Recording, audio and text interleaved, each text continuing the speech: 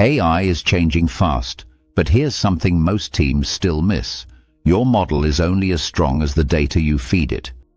And today, a new dataset just dropped that could shift the trajectory of multimodal AI for enterprises.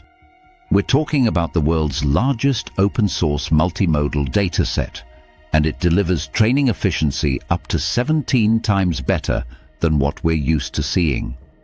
Before we go deeper, hit like, subscribe, and drop a comment if you're interested in real-world AI you can actually deploy. This dataset is called EMM1, built by ENCORD. It includes 1 billion data pairs and 100 million grouped data samples across text, images, audio, video, and even 3D point clouds. That matters because real life is not just text or just images. We understand the world through multiple senses at once.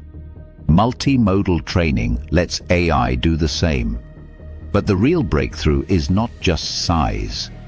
It is data quality. Encord paired this dataset with a training method called eBind. Instead of relying on massive model size, they focused on curating clean, diverse data and preventing data leakage, where test data accidentally shows up in training. Leakage artificially boosts performance and gives you misleading benchmark scores.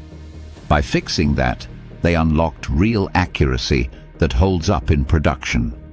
The result is a compact 1.8 billion parameter model that performs like models up to 17 times larger, and it trains in hours instead of days, on a single GPU.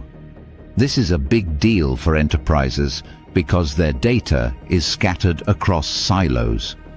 Documents live in one system, audio recordings in another, training videos somewhere else.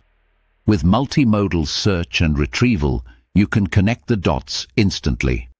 Think legal teams gathering evidence across video and files. Healthcare linking imaging to patient notes. Insurance verifying claims with photos plus voice recordings. One of the companies adopting this is Captur AI. They specialize in verifying images on device for mobile apps. But now, they're adding audio context to help verify things like insurance claims more accurately in real time without needing the cloud. That is where this is headed. Multimodal AI at the edge. The big takeaway. The next competitive advantage in AI is not brute force compute. It is data quality and multimodal context. If this was helpful, like this video, subscribe, and comment with what part stood out. And check out the video in the corner to go deeper. See you there.